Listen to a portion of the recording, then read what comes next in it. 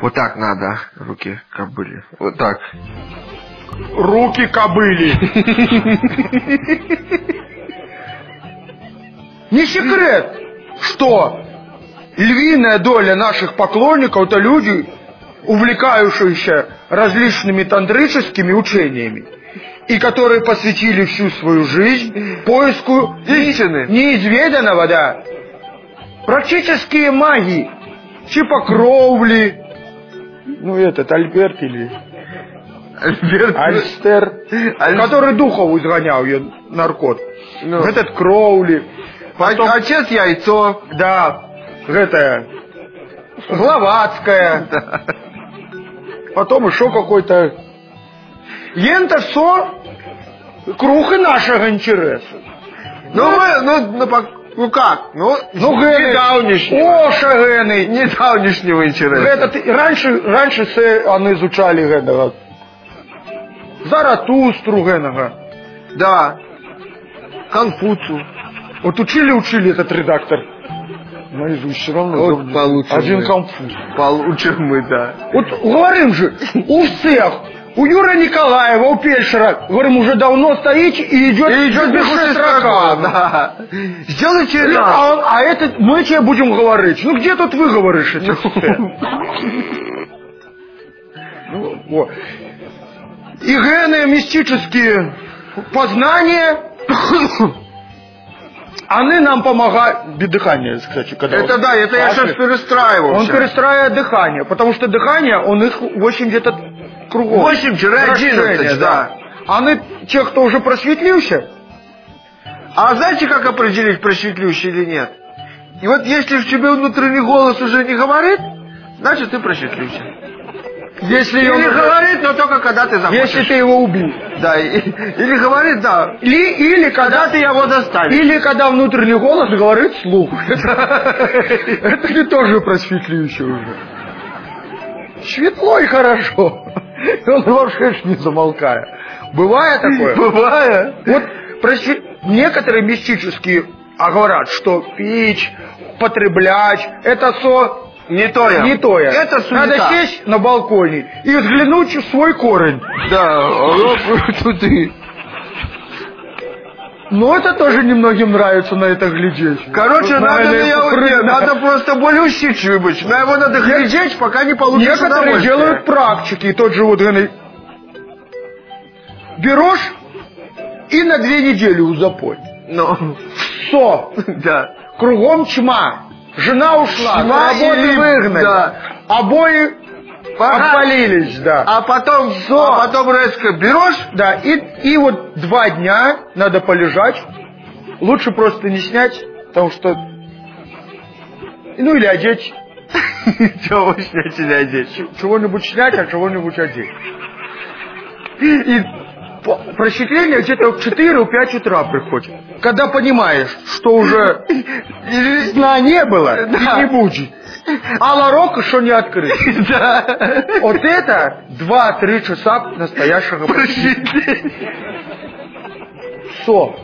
Тут уже хоть памфлет огладь, Хоть баранов считай, да. хоть кого шипай. Хоть ночной задоиди, себе да. шипай. Да. Какой идти?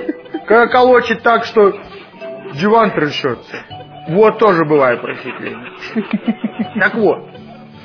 Что мы хотели рассказать про одного нашего мистика, которого мы хотим явить миру. Я-то Виктор, у него имя Виктор, что значит победитель.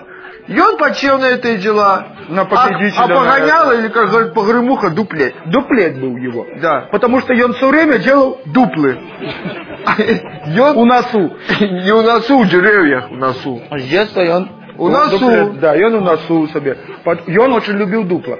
Вот и он, зубы сам себе вырывал специально, как было дупло. Ну да. И не давал вставлять. Он и языком У него, любил. у него дупло. Это на, на, начало, начало, У него дупло. начало вечности. Да. И он считал, что вообще не Млечный путь, а черная дыра. Дупло. И он поклонялся всяким черным дырам.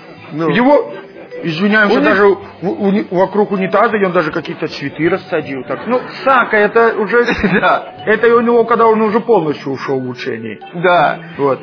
Не, а так сначала, я делал- сначала безобидно. И он делал в лесу. Дрелью ходил или этим, кернером. Кернера выбивал, а потом научился он себе железные ногти такие сделал. И ими Крабов, куклы. да. И А его думали, дятлы, дятлы, да. А это этот. А он перья с подушки накидает, чтобы на его не думать. Подка- подкинет яйца, его только заловили с чем, что яйца со знаком качества были стоять. Вот. Лесники его вылавливали, у него он их дупа. И там он занимался мистикой.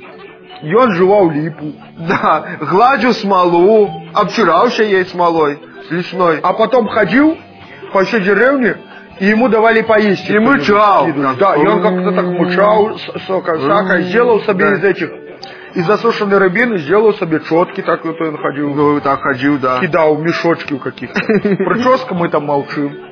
Молчим. И он сам себе этими садовыми ножницами себе. Почикал, да. Почикал где-то с кожей прямо. Со скальпелем. Да, а, а занавеску в клубе спер желтую и сделал себе такую вещь. А еще я он первый раз, когда его, помнишь, в больницу попал, потому что он с нашей группы, срок у нас группа, называется срок. Вот, первый срок называется группой у нас. Мы пока что чужие только поем песни. Вот. И он с большого барабана бубен сделал. Да. Ну, Отрезал От- гадина. отпилил, да. Ну, а Там Ходил- такой был урмиф Да. барабаны. Зап- эти, как они, зап- западные, фирменные, рыжские. Ну. Вот. И он с колотухой ходил, по им какой-то шаман делал. Вот. Тогда мы его первый раз заловили. Вот.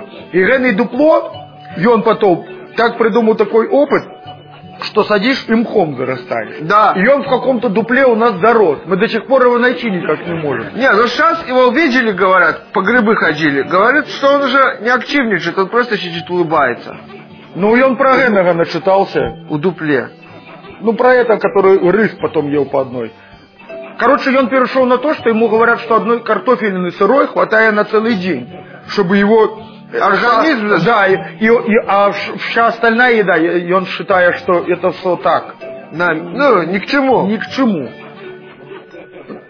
Мы вот не успели про его теорию рассказать, только про практику. А, а про теорию, кто интересуется этими мистиками, давайте Напишите, да, общаться через э, Генри.